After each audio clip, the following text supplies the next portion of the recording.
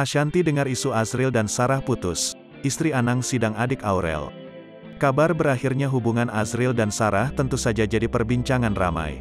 Menanggapi kabar yang tengah viral di media sosial itu, akhirnya, Aurel Hermansyah sebagai kakak membongkar fakta.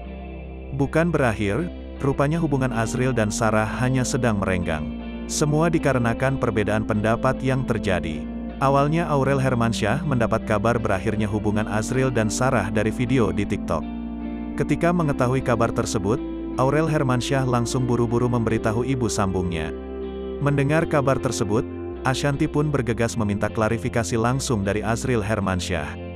Hingga akhirnya, Ashanti memarahi Azril Hermansyah karena kabar tersebut menjadi viral.